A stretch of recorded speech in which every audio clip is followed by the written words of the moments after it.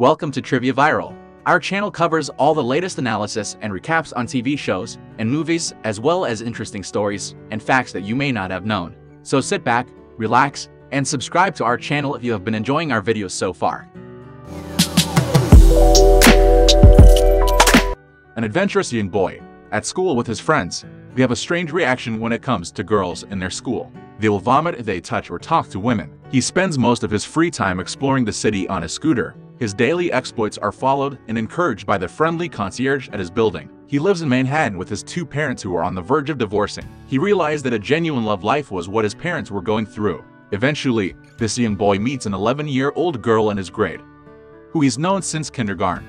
After being partnered with her for sparring and self-defense class, he suddenly notices her as a girl, not another face. He follows the activities of women he likes to find party clothes, the young boy was amazed when he saw the beauty of the woman wearing a pink dress. She will wear the dress for her aunt's wedding. He also trained in Taekwondo together to earn a yellow belt. They talked together to repay their friend's behavior with their strength from learning Taekwondo.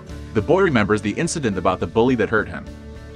This video is sponsored by Cudy. Cudy is Asia's largest platform for students, tutors, and coaches to find and book lessons online or offline, all from a single platform. Sign up at Cudy today. The boy returns home and faces the reality that his parents had to divorce. However, he got up and realized that happiness is not the responsibility of his parents. He uses the phone book to look up the number of the girl he likes, but gets the wrong number. He waited for the girl he liked in front of the building to get out of the building. To young girl's elation, they begin spending time together. He is completely enamored with not only her, but her life. He takes her on a tour through Central Park.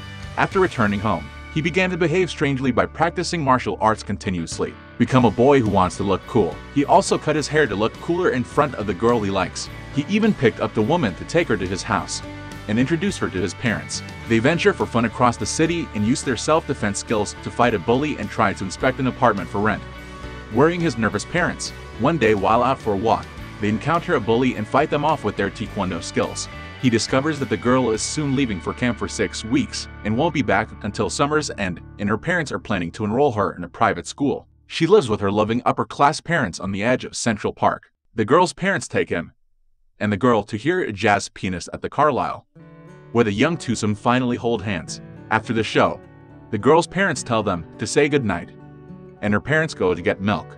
After the parents leave, he and the girl begin talking, and he interrupts her by kissing her. The girl's family's life is in contrast to the boy's. He lives with his soon-to-be divorcing parents, who have declared an awkward truce while waiting for their divorce to be finalized. As their relationship progresses, the girl begins to question what is happening to him and why he is falling in love with her. When things seem to be going perfectly, the boy's world is suddenly turned upside down when he and the girl are assigned new sparring partners. The boy is instantly jealous of the girl's new partner, a taller blonde boy, who's much better at self-defense than he is with their remaining time running out. The guy tries to move closer to the girl, but only drives her away, in a desperate move to win the girl back. He attempts to show off for the girl to get his yellow belt, but painfully fractures his hand in the process.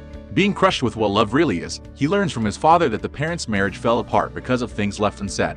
Realizing he is out of time, the boy goes to find the girl. He interrupts her during the wedding reception she is attending and declares his love. Taken aback, the girl replies she doesn't think she's ready for love but is really happy to see him. She asks for a dance and the boy agrees. As they dance, he muses that he and the girl were on different paths, like two ships that passed in Sheep Meadow. He returns home to find his parents laughing over their honeymoon recollections.